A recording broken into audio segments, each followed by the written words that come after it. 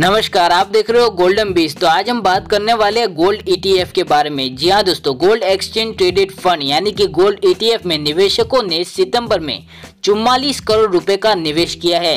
Trade war, वैश्विक सुस्ती और शेयर बाजारों में गिरावट माहौल में निवेशकों ने लगातार दूसरे महीने गोल्ड ईटीएफ में निवेश बढ़ाया है। आपको बता दें कि अगस्त में गोल्ड ईटीएफ में एक करोड़ रुपए का शुद्ध निवेश हुआ था। वही association of mutual fund in India के आंकड़ों के मुताबिक सितंबर में गोल्ड ईटीएफ में चुम्बालीस करोड़ रुपए का शुद्ध निवेश हुआ।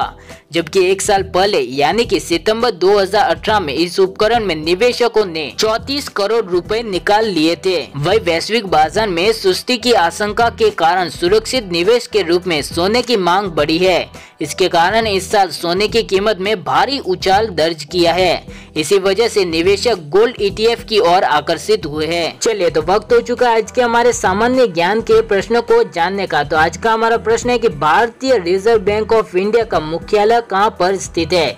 इसका जवाब आपको नीचे कमेंट करके देना है और साथ ही में इस वीडियो को अपने दोस्तों मित्रों के साथ शेयर भी करना है। उसी के साथ में आपको बता दे कि सही जवाब देने वाले विजेताओं को दिया जाता है गोल्डन बीस की ओर से सरप्राइजिंग गिफ्ट और पेटीएम कैश धन्यवाद, जय हिंद।